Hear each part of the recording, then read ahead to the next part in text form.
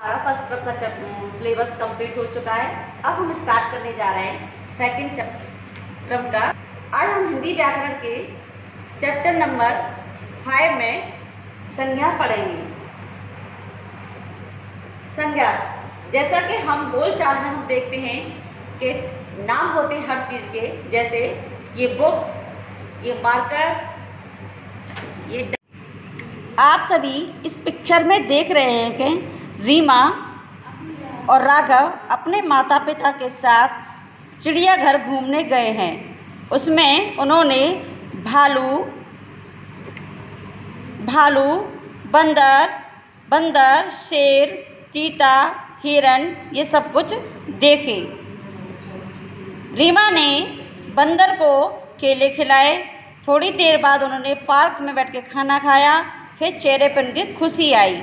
आप भी जब कहीं घूमने जाते हैं तो बहुत ही खुश होते हैं। अगर आपको कोई मनपसंद चीज़ या गिफ्ट मिलती है, तब भी आप बहुत ही खुश होते हैं। अगर आपकी गलती होने पर माँ या टीचर या और कोई आपको डांट देता है तो आप बहुत ही दुखी होते हैं। तो ठीक उसी प्रकार हमारे अंदर कुछ भाव आ जाते हैं, जिससे हम खुश और दुखी होते हैं।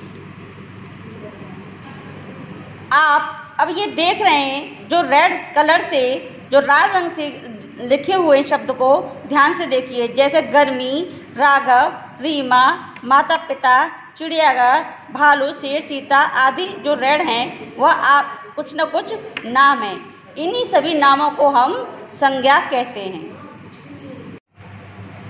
जैसे प्राणी में राघव, रीमा माता पिता भालू, शेर, चीता। ठीक है?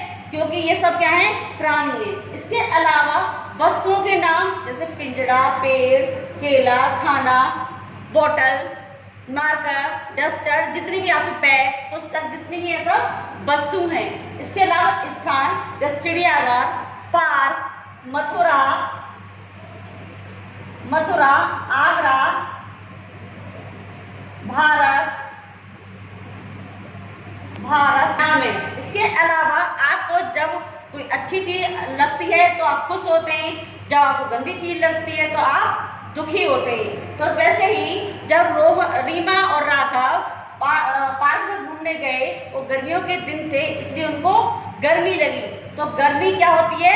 एकदम से हमारे अंदर पसीना आ जाना, हम बेचैन हो जाते हैं, हम घबराते गर्मी लगी हो, गर्मी थी, और आपकी माँ जब कुछ अच्छा खाना बनाती है, या आपके लिए कुछ अच्छा गिफ्ट आता है तो आपको खुशी होती है। तो ये क्या है आपके अंदर? आने वाले भाव है। इसके अलावा बुढ़ापा बुढ़ापा बुढ़ापा एक ऐसी शरीर की प्रक्रिया है जिसमें हमारा शरीर कमज़ोर, जर्जर हो जाता है, पूरी बॉडी पे झुर्रियाँ पड़ जाती हैं। इसलिए ये हमारे एक शरीर के भाव है। इसके अलावा बचपन बचपन को नाम सुनते ही हमारे मन में एक नटखट सा, छोटा सा बच्चा हमारे जीवन में हमारे सोच में आ जाता है, वो भी बचपन। इसके अलावा शांति, प्यार, घृणा आदि क्या है हमारे? भाव है हमारे। अगली कि संज्ञा की, संज्ञा कितने प्रकार की होती है? और किस तरह से हम इसे बताएँगे आपको वो अगली वीडियो में बताएँगे।